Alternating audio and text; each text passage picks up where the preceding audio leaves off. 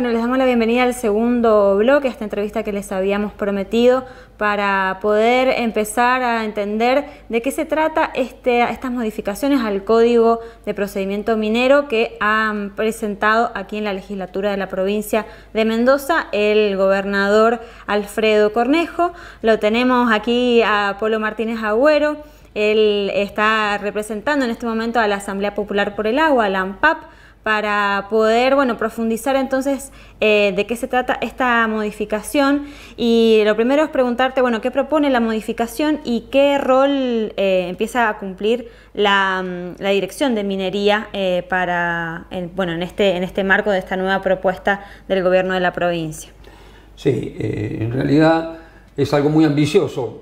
Esto lo hemos hablado y lo estamos permanentemente tratando en la AMPAP o sea, en las asambleas mendocinas por el agua pura, este, que es una participación colectiva prácticamente de toda la, provincia en un tema tan candente y que está relacionada con eh, luchas históricas de, AMPAP, como es este, la ley 7722, que desde junio del 2007 hasta ahora sigue flameando, este, victoriosa, digamos, más allá de este, los ataques extractivistas del gobierno provincial, como lo ha llevado muchas veces, y en el marco del gobierno nacional hoy, con este, el Pacto de Mayo, donde hay un capítulo que exhorta a las provincias a este, explotar los recursos naturales, como ellos lo llaman. Nosotros le llamamos este, bienes eh, de recursos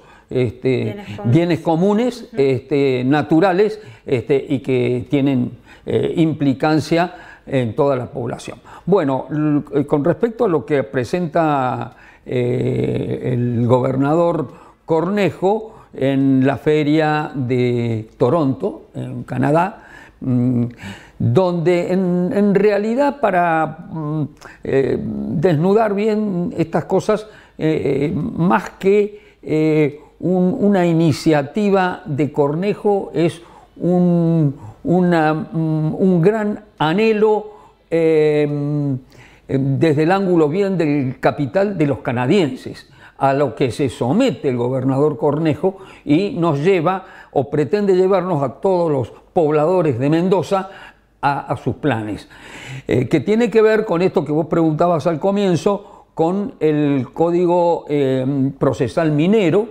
es un código de hace muchos años, este, pero que tiene algunos elementos que más allá de, de, mm, está desde el año de la década del 40, mitad de la década del 40, tiene aspectos en donde mm, eh, pueden favorecer en cierta medida a em, lo que nosotros defendemos desde el punto de vista de la lucha antiextractivista y la defensa del agua, como por ejemplo el Consejo Minero. Eso lo quieren sacar. El Consejo Minero es eh, un, consejo conformado por distintos sectores que observan el aspecto de eh, todos los proyectos que se pretenden llevar desde, la minería este, y regula una serie de aspectos en donde pueden, y seguramente lo hacen, se exceden las, grandes empresas.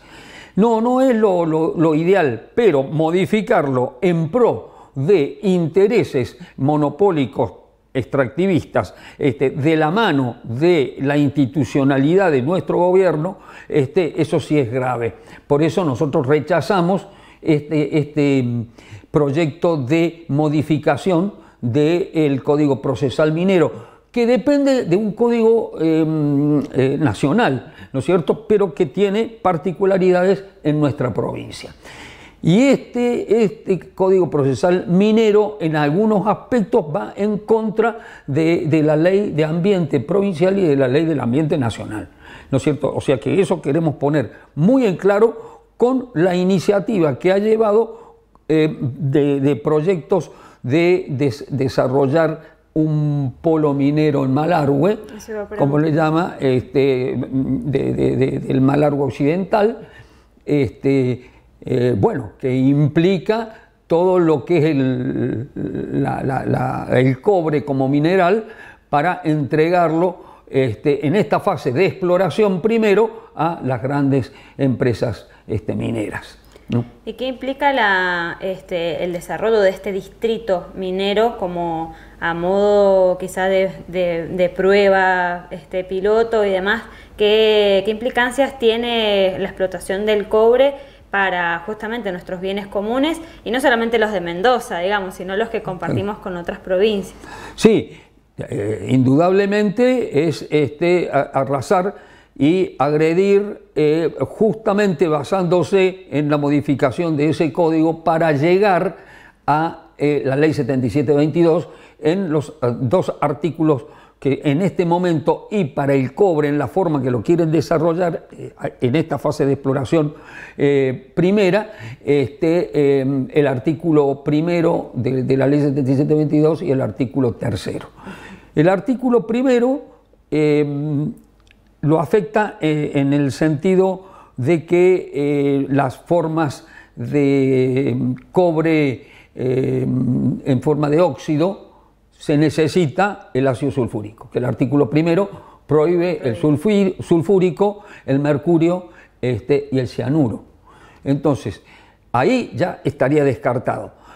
Y supuestamente para la parte del sulfuro de cobre sería necesario un, este, em, cuando habla de otros tóxicos, eh, de otro, es decir, de otros químicos que, producen toxicidad, está el santato y la poliacrilamida, ¿no es cierto? Que es justamente lo que ellos van a usar seguramente en la fase de exploración, lo cual atenta contra la fauna, la flora, el, ambiente en general, el aire, por supuesto el agua, etcétera, y los seres humanos. Y con ello la vida, claro. O sea que, y el proyecto eh, del gobernador es abarcar todo ese sector occidental malarguino, en una extensión de 22.000 kilómetros cuadrados. Malargüe tiene 41.600 aproximadamente. O sea, es más de la mitad. O sea, que es más de la mitad del territorio de Malargüe. Lo cual tiene implicancias en, una serie de aspectos. Va a abarcar a los glaciares, ¿no? que por suerte todavía tenemos la ley de glaciares más allá que se quiso modificar y que Marta Maffei y Bonazo fueron los que justamente pudieron hacer de que se volviera a respetar esa ley. O sea que ahí, ahí ya tenemos este, eh, una, situación con los glaciares y los pueblos transhumantes, los pueblos originarios que habitan ahí van a producir un corrimiento, ¿no es cierto? Porque ahí van a usar el agua, van, van, a, van a, hacer caminos, van a, una serie de infraestructura que afectan los bienes comunes y afectan el, aspecto poblacional. La vida de las comunidades. Las vidas de las comunidades y la población en general de Malargüe. O sea que este, nosotros estamos en este momento en una situación de alerta y movilización para repudiar y rechazar este proyecto este, em, minero del cobre llevado a tipo lobby a Toronto, en Canadá. Bueno, recién mencionabas lo del acuerdo de mayo que propone el presidente Javier Milei.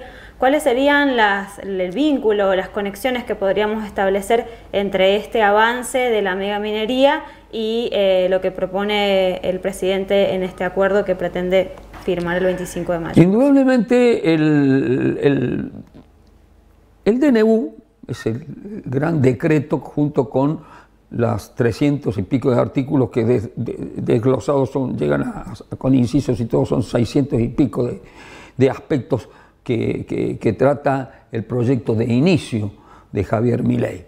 Eh, eh, queda afectado todo lo de los bienes comunes, lo que ellos llaman recursos naturales, eh, quedan afectados por toda una concepción del Estado en la relación Estado-mercado. Eso es lo que yo creo que se debe tomar mucha conciencia. Más allá de lo que se ataca como casta este gobierno en aspectos que muchas veces se interpretan como individualidades este, eh, de personas corruptas, la verdadera casta es el Estado. O sea que, haciendo de que el Estado no exista y que exista solamente el mercado con sus leyes, implícitamente lleva adelante un proyecto de entrega total de los bienes comunes. El extractivismo está marcado por varios economistas, como una fase superior del capitalismo actual hoy. Y a eso se entrega totalmente, y ese es el juego que quiere hacer con los gobernadores en el pacto de mayo, ganando tiempo de acá a mayo, este, de manera de que él exhorta, como lo dije al comienzo, a que eh, se tomen todas las medidas para poder explotar los recursos naturales y entregarlos, por supuesto. O sea que volvemos a la fase inicial de nuestra lucha contra la, eh, por la ley 7722 y contra el extractivismo, de, que eh, este, estos proyectos son saqueantes, este, contaminantes y secantes y producen corrupción. Sí, te diría más, es una pérdida de soberanía total, o sea que nos remonta a 200 ah. años atrás. Tal cual, como lo dices vos. a depender de las grandes potencias. Por eso decimos saqueo. Ese saqueo es la entrega total de la soberanía. Y acá tendremos que estudiar, esto me adelanto a decirlo, es más político, la, la reforma de la Constitución del 94 contempla que el subsuelo sea del manejo de todas las provincias. O sea que no hay un manejo eh, de síntesis abarcadora de la soberanía, sino que es una soberanía parcial.